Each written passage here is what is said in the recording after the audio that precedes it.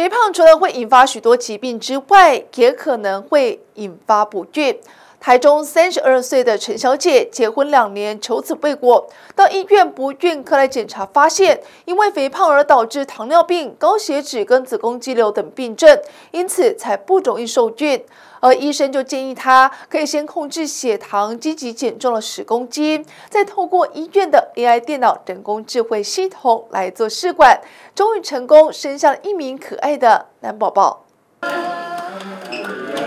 医师跟陈小姐一家人温馨唱起了生日快乐歌，祝福小宝宝满月。而对陈小姐来说，这个孩子真的是得来不易，因为之前的体重破百，结婚多年，肚子都没有消息，而到医院检查才发现是肥胖惹的祸。就觉得好像应该是身体上有某些状况出问题，所以就是先来检查看看。嗯哼，然后才发现很多问题。嗯，好比说，嗯，好比说就是。我才检验出说我有糖尿病这方，还有一些什么，就是息肉的部分啊，那些都是要做，还有肌瘤，嗯，对，肌瘤就是整个已经里面很多颗，然后还有大的，还有最大的还有十二公分、十三公分的。体重比较超标一点的妈妈的话，有的时候身体的一些雌激素的分泌会比较高，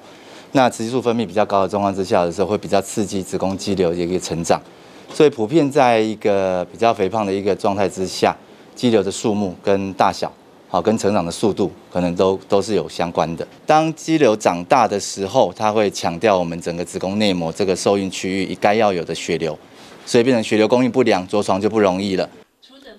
因为肥胖让她罹患了糖尿病、高血脂跟子宫肌瘤等病症，更间接的导致她不孕。而在医师的建议下，控制血糖，积极的减重十公斤，并手术摘除了多发性子宫肌瘤之后，透过了医院的 AI 电脑人工智慧系统来做试管，才顺利产下了一名三千五百公克的健康男宝宝。会陪他回诊回来啊，因为看他每次打针都很辛苦啊，我也会主动去帮他打针啊。嗯哼，我那针头真的都是